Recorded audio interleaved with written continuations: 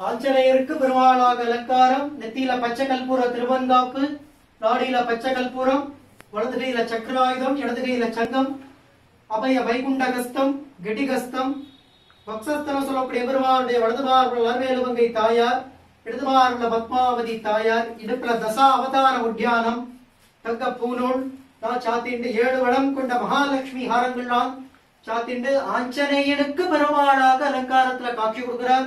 பகவான பிரார்த்தனை பண்ணிங்கோ லட்சக்கணக்கான கற்களுக்கு மேல பதிக்கப்பட்ட அங்கி வஜ்ராங்கித கவச்சம் தேகம் முழுக்க சாத்திண்டு எப்படி திருப்பதி பெருமாள் மலையப்ப சுவாமி புஷ்பங்கி சேவையில காட்சி கொடுப்பாரோ அதே புஷ்பங்கி பூலங்கி சேவையிலையும் வஜ்ரங்கி கவச்சத்திலையும் நம்ம அஞ்சலி வரதன் இந்த சின்னாளப்பட்டி திண்டுக்கல் திவ்ய கஷேத்திரத்தில் இருக்கக்கூடிய அஞ்சலி வரதராஜன் சிவசாதிக்கக்கூடியதான இந்த தீப ஒலி ஆராதனை ரொம்ப கிடைத்திருக்கிற காட்சி. பகவான பிரார்த்தனை பண்ணிக்குங்கோ.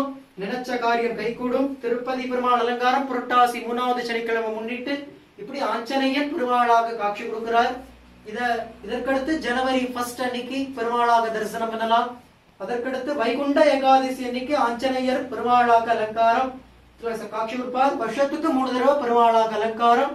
பகவான பிரார்த்தனை பண்ணிக்கணும் சாந்தாகாரம் புஜகசயனம் பத்மநாபம் சுரேஷம் விஸ்வாகாரம் ஜெகனசுதிஷம் மேகவர்ணம் சுபாங்கம்.